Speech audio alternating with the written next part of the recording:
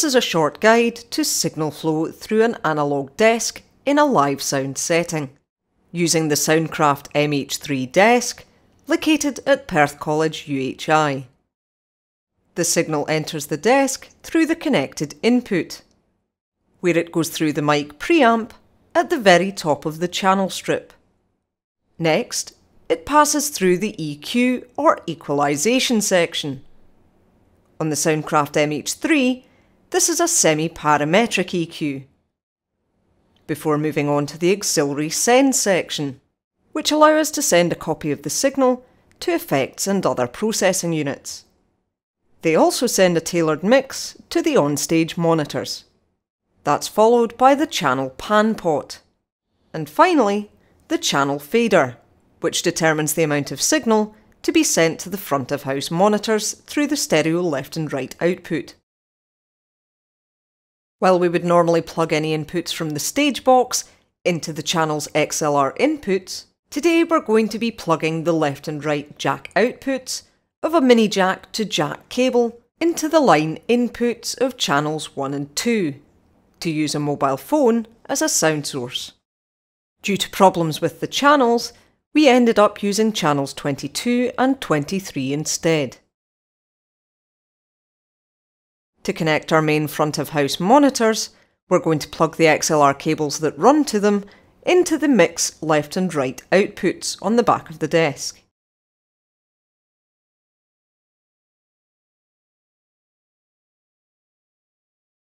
After setting our channel faders to infinity gain, which is 0 dB, we can then bring up the Stereo Master faders, and we should be able to hear the output from the front of house monitors.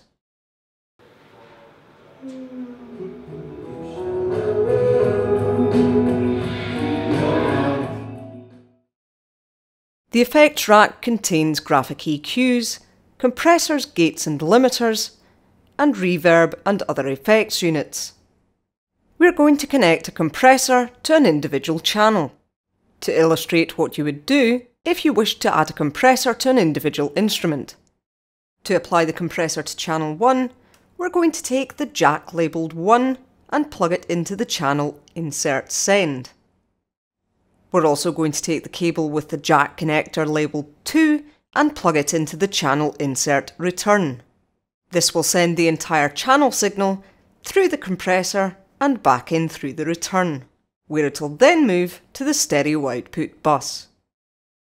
On the back of the compressor, we take the corresponding jack connector labelled 1, carrying signal from the desk, and connect it to channel 1 input. The jack connector labelled 2, we plug into the output of channel 1. This returns the compressed signal back to the desk. We're going to send signal to a reverb unit by using the XLR output for auxiliary 3. To do this, we plug the XLR connector, labelled 2, we're using a different wiring loom, into the socket labelled auxiliary 3. On the back of the reverb unit, we take the jack connector at the other end of the cable, labelled 2 in, and plug it into the left input on the back of the reverb unit. To send the wet reverb signal back to the desk, we're going to use the jack connector labelled 2 out left and 2 out right. These are connected to the left and right outputs on the back of the reverb unit.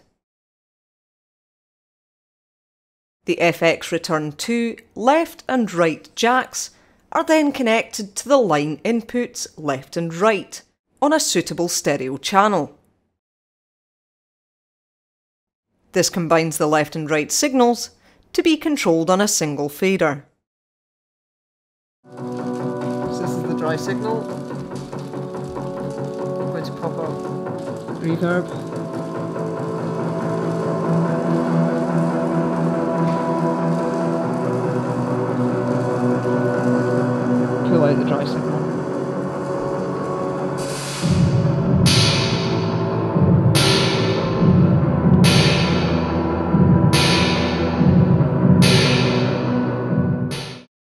It's important to note that the meters you can see beside the faders are metering how much signal is coming into the desk, not how much you're sending out.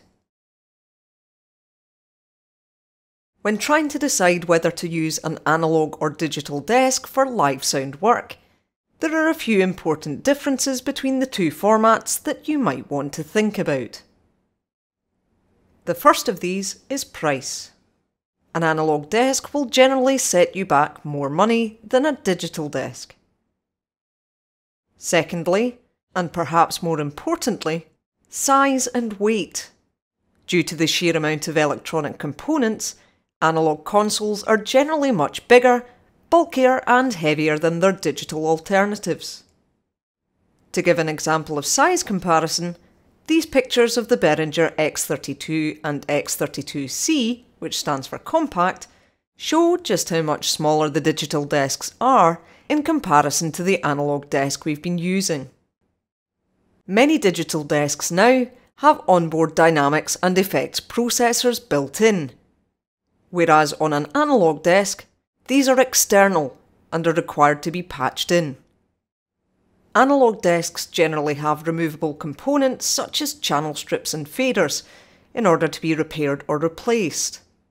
Whereas any faults with a digital desk often have to be repaired by a specialist. Many people believe the sound quality of an analogue desk to be superior to that of digital. However, digital desks in recent times are beginning to catch up. It's simply down to your individual needs and requirements as a live sound engineer.